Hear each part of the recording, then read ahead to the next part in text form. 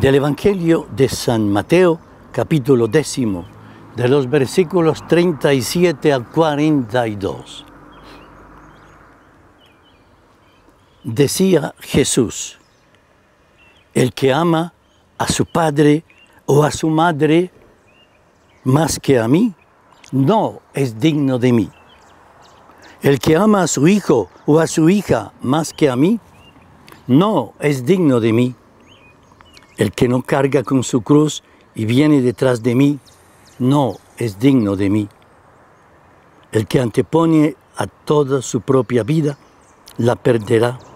Y el que sacrifique su vida por mi causa, la hallará. El que lo recibe a ustedes, a mí me recibe. Y el que me recibe a mí, recibe a aquel que me ha enviado. El que recibe a un profeta, porque es profeta, recibirá recompensa digna de un profeta. El que recibe a un hombre justo por ser justo, recibirá la recompensa que corresponde a un justo. Asimismo, el que dé un vaso de agua fresca a uno de estos pequeños porque es discípulo, no quedará sin recompensa. Soy yo quien se lo digo. Palabra del Señor. Gloria a ti, Señor Jesús.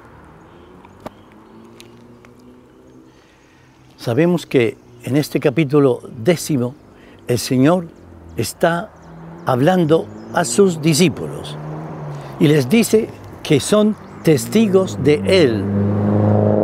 Les dice que ellos deben comportarse como aquellos que anuncian, que lo siguen a Él, que son sus discípulos. Y por eso entonces coloca bien en claro cómo nunca el discípulo es mayor que su maestro. Y además que Jesús es Dios, que por Él perfectamente podemos nosotros dejar padre, madre, dejar hogar, dejar tantas cosas, con tal de ir donde Él a través del corazón de la oración y de la iglesia, nos va indicando para ir dando más y más su evangelio. Sobre todo, comenzando siempre por el hogar, por la familia, pero muchas veces yendo más allá del hogar, de la familia, de mi trabajo, de aquellos que yo tanto amo y quiero. Pero cuando el Señor pide romper el vuelo, y estar entonces anunciando su verdad, debemos estar con los brazos abiertos para ir por todas partes y dar su amor y su gracia.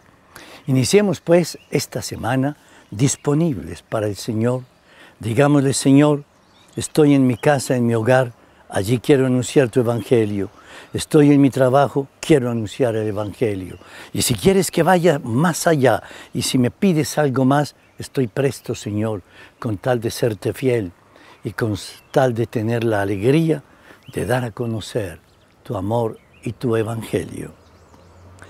Y nos bendiga el Señor en nombre del Padre, del Hijo y del Espíritu Santo. Amén.